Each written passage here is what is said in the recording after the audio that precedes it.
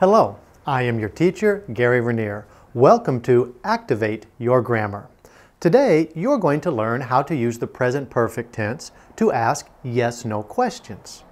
Let's begin with what you already know, how to ask a yes-no question in Spanish in the present perfect tense.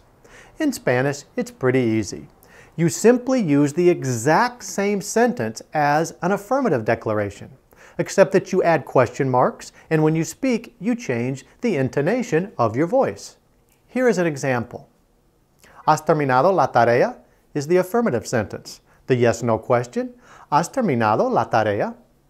In English, to ask yes-no questions in the present perfect tense, the structure is a little different than in the affirmative and negative sentences. So what do we do to form a yes-no question in the present perfect?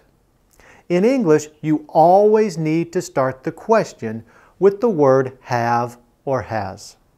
Let me repeat the rule again. You must always start the question with have or has. Here is the formula.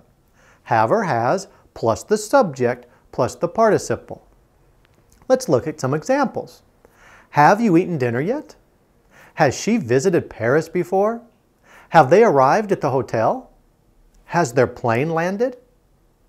The video will now stop and you will have an activity to identify yes, no questions in the present perfect tense in English.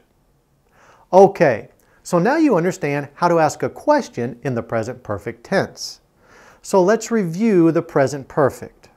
For an affirmative sentence, you follow this formula.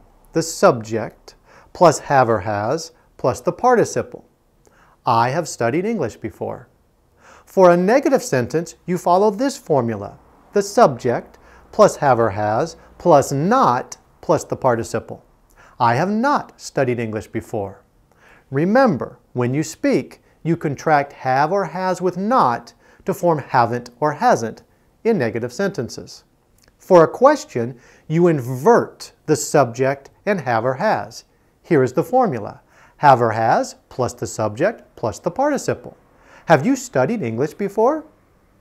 The video will now stop and you will have an activity to form sentences and questions in the present perfect with affirmative and negative sentences and questions. Congratulations! Now you know how to speak in the present perfect tense.